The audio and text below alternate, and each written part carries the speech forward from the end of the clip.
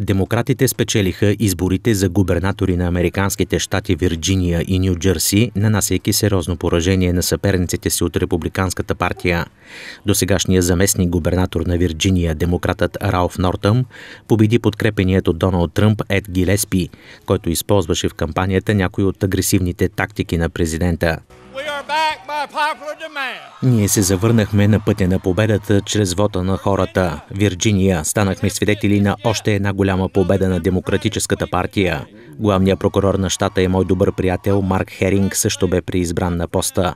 Вирджиния ни каза да сложим край на разделението и на политиките, които водят към омраза и фанатизъм. Въпреки, че подкрепеше Гелеспи в серия от твитове, Тръмп бързо се дистанцира от загубилия претендент от Републиканската партия. Гелеспи работи упорито, но никога не е разчитал напълно на моята подкрепа, написа президентът в профила си в Твитър.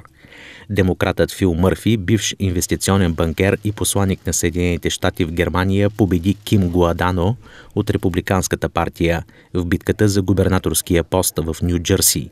Гуадано, която бе заместник губернатор, бе затруднена в кампанията от връзките си с непопулярния досегашен губернатор на щата Крис Кристи.